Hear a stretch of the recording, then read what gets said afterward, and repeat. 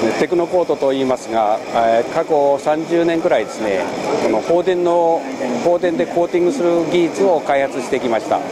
え、これはあの原理的にはあの電気スパークを利用しまして消耗電極を瞬時に溶かしてそれを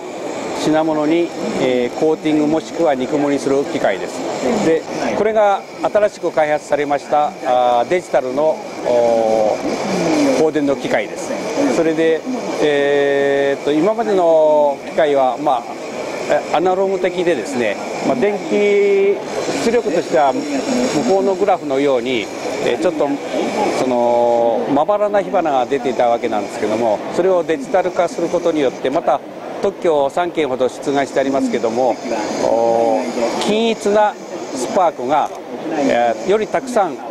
えー、発生するようにしてあります。そうしますと、えー、コーティングのスピードがですね速くて、えその皮膜とか肉盛りが均一なものができるという特徴があります。で、えー、と制限は、まあ、あの今までは、まあ、ボタンとかあのダイヤルで調整しましたけど全てこの液晶タッチで、えー、調整できるようになってます。それで、まあ、このようにですね、えー、アプリケーターに、えー、消耗電極、えー、超光とかあニッケル合金とかアルミ合金とか銅合金をここにチャッキングしまして回転することによってここでスパークを発生させ1回のスパークで、えー、1つのデポジションがコーティングできるようになります。でこのようにですねあの品物まあ、一般的にはあの金型が多いんですけども金型の表面に金型がロングライフするような材料を選んでコーティングします。そうしますとその金型は、えー、従来よりも、まあ、長持ちするとかそういったことになります。でまたもし金型に傷がついた場合はですねそこに、えー、っとそのコーティングを連続することによって、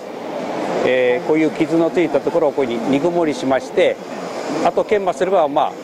復旧できるということで金型を傷ついたということで作り変えるとかですねするのではなくて保守再生して、え